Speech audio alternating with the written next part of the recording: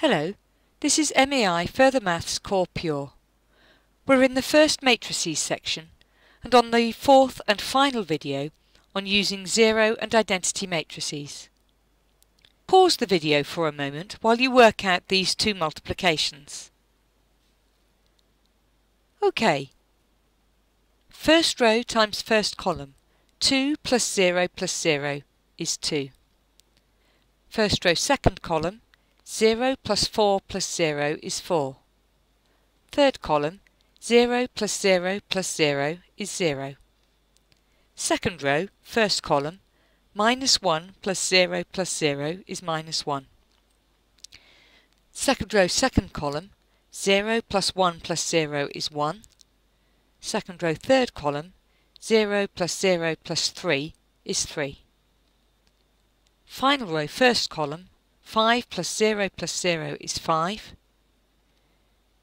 Third row, second column, 0 plus minus 2 plus 7 is minus 2.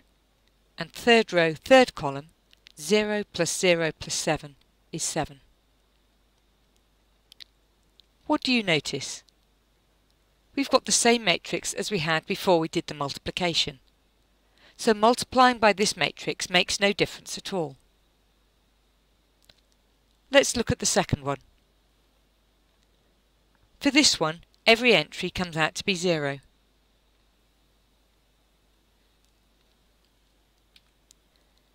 The first matrix we looked at was an identity matrix.